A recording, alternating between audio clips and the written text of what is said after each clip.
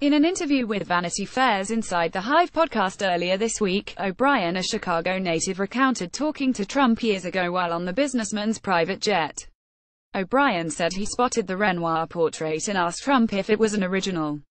Trump said it was. O'Brien verbally disagreed, but Trump continued to protest O'Brien's argument. According to Vanity Fair, O'Brien dropped the conversation topic and moved on with his interview. I'm sure HES still telling people who come into the apartment, it's an original, it's an original, O'Brien told Vanity Fair in the podcast interview.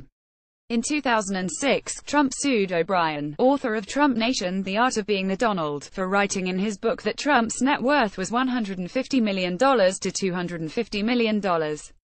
Trump lost the lawsuit. The Renoir painting has popped up in the background of Trump's apartment in two interviews with 60 Minutes when Trump was still president-elect and during a Fox News interview with First Lady Melania Trump. But the Renoir piece has been hanging in the Art Institute of Chicago since 1933, its spokeswoman Amanda Hicks told CNN Wednesday. She pointed to the painting's information page on the Institute's website. Art dealer Paul Durand-Ruel purchased the painting from the artist in 1881. Annie Swan Coburn purchased it from Durand-Ruel for $100,000 and then gave it to the museum, Hicks said. Hicks did not provide any further comment.